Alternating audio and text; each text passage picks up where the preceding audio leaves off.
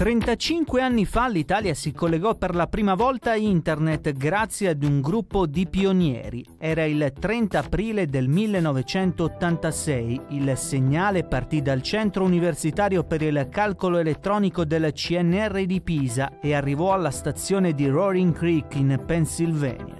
La notizia fu oscurata dal disastro di Chernobyl avvenuto pochi giorni prima, ma fu davvero l'inizio di una storia nuova e molto prima che Internet diventasse dominio di tutti, agli inizi degli anni 90.